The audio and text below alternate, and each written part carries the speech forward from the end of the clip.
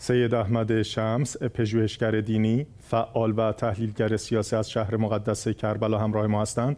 تا پیرامون این موضوع گفتگوی با ایشان داشته باشیم.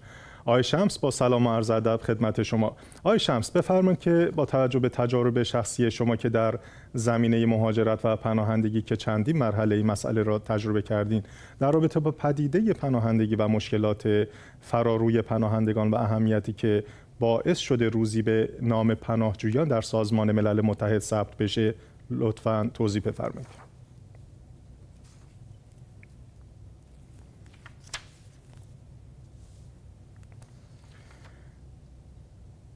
جناب آقای شمس صدای بنده رو داریم؟ الو من صدا رو ندارم آقای شمس الان چطور الان صدای بنده رو داریم؟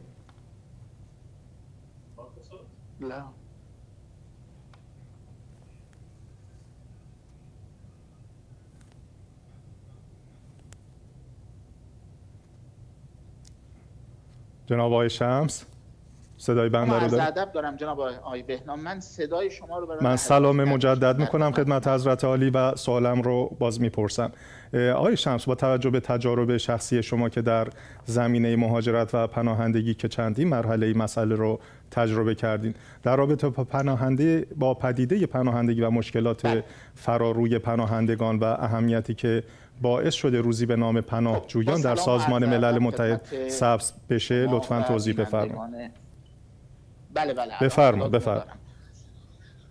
بله با سلام و عرض ادب خدمت شما و همه بینندگان عزیز شبکه جهانی امام حسین علیه السلام. در رابطه با موضوع پناهندگی و 20 جوان که به عنوان روز پناهندگان در نظر گرفته شده خدمت شما و بینندگان عزیز. عرض بکنم که طبق آموزه های دینی دو نعمت رو خدای بزرگ برای انسان در نظر گرفته که با وجود این دو نعمت زندگی برای انسان ها میسور خواهد شد. نعمت سلامتی و امنیت. اگر این دو نعمت موجود بود انسان می‌تونه زندگی راحت و آسوده ای داشته باشه و با از دست رفتن این دو نعمت امکان یک زندگی آسوده از انسان سلب خواهد شد. خب حالا بحث سلامتی بخشش به خود انسان و بخشش به رعایت مسائل دیگه بستگی داره اما در بخش امنیت که حکومت ها گاهی اوقات از انسان ها سلب می‌کنن سلاطین سلب می‌کنن از انسان وضعیت متفاوته. همیشه شاید تو تصور عامه و عمومی این باشه که اگر کسی در یک جایی بمانه و با اون حکومت خاصی که امنیت رو از انسان ها سلب کرده مبارزه بکنه می‌تونه مثلا انسان قوی باشه و ستودنی باشه. اما گاهی اوقات من می‌خوام عرض بکنم به عنوان کسی که مسیر مهاجرت و پناهندگی رو بارها و بارها تجربه کردم شجاعتی که در پناهنده شدن و مهاجرت و ترک سرزمین و تمام علایق انسان وجود داره بسیار شاید در برخی از موارد از ماندن و مبارزه کردن زندان رفتن و شکنجه شدن اگر بالاتر نباشه کمتر نیست. وقتی که انسان علایق خودش رو سرزمین خودش رو موتن خودش رو خلاصه می‌کنه در یک کوله پشتی و بارها و بارها مسیرهای خطرناکی رو که بعضا امکان گرفته شدن جان او وجود داره رو طی می‌کنه این حکایت از شجاعت بی‌نظیری داره.